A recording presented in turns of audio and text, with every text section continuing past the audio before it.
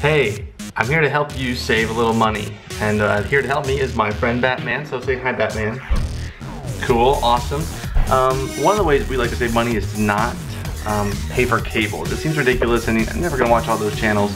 Um, but something I heard online that I didn't believe until I tried it is to put a paper clip in the coaxial jack, your TV antenna jack, and that'll give you more channels. And I was like, that seems ridiculous. So when I tried it, so I tried it. Uh, I got a paper clip, uh, and just bent it just like that, like just a simple L shape.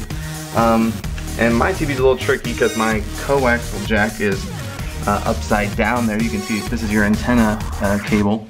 Uh, what you're gonna do is you put the paper clip into the jack. Uh, I'm just kind of tape the end of it right over there. And it got over 30 channels doing it this way. Um, so just try it. You may not believe it, but try it.